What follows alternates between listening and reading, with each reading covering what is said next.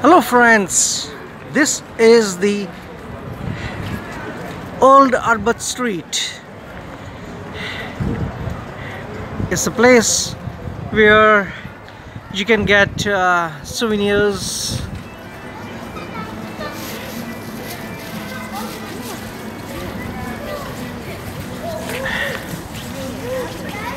By evening this place will have many people here and the, and since it's uh, New Year time and Christmas time so the place is brilliantly illuminated.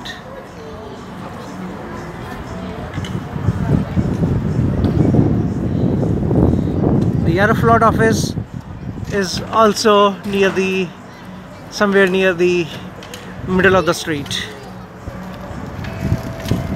Cheers my friends